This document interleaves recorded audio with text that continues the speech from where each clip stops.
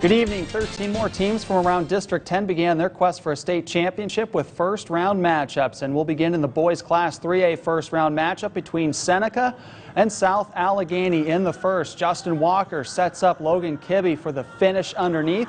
Bobcats grab the early lead and then later in the frame, Walker takes it from the wing, goes to the opposite block for the score. Seneca maintaining that early advantage at the other end of the floor. Ethan Kirkwood drills the three-pointer for South Allegheny.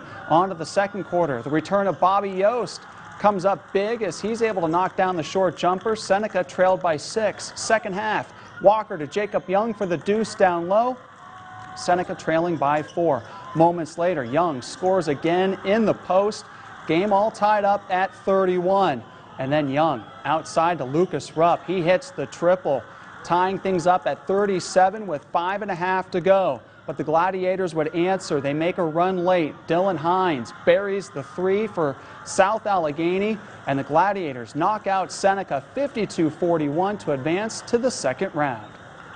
They were real physical. Their guards were physical with our guards. We had a hard time getting into our sets. We had a hard time bringing up the ball. They, they were just tougher than us today. I don't think we brought the same kind of toughness that they brought. We felt momentum a couple times. We just, you know, a couple shots didn't fall for us. I thought we had some good looks. I thought we had some good takes to the hoops.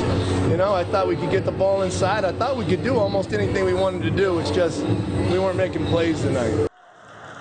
Some other notable scores to pass along in state boys basketball action. It was Girard falling to Bishop Guilfoyle 56 to 32. Also in Class 3A, Ellwood City comes back to knock off District 10 champion Franklin 65-63. And in Class 2A, Ridgway topples Cambridge Springs 47 to 44. PIAA girls basketball Class 4A first round contest between number one Villa Maria versus Quaker Valley. This all Villa Maria in the first half. First, it's Jada McBride bearing the triple as she had 15 points on the night.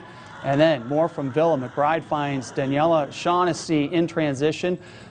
She had seven points. Next, it's Tori Mays to McBride and then to Carissa Dunham who buries the three out in the corner. 8 nothing run. Dunham finishing with eight points. More from the victors. McKenna Valone hits the corner three as Villa jumps out to an 11 0 lead. More from the victors. As freshman Addie Beal gets the bucket down low, she finished with six. Then it's Mays to Valone for the drive and finish. She had five.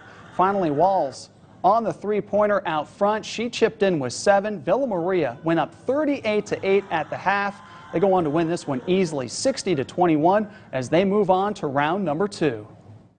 Our defensive intensity was very good, and you know it started with uh, you know Tori Mays on the ball, and I thought she bothered their point guard a little bit early, and we got some pressure up in them, and uh, you know fortunate to make a few shots. We always emphasize that defense is just our number one thing. You know we always talk about transition defense, and we were able to get some stops in uh, running transition. It was I mean it was great. They're a great team. You know just we were just on top tonight on this one. So it's Villa Maria moving on to face Bedford on Saturday in the second round. Meanwhile, Chartiers Valley eliminates Harbor Creek 65 to 16, and it was Oakland Catholic over Warren 58 to 36.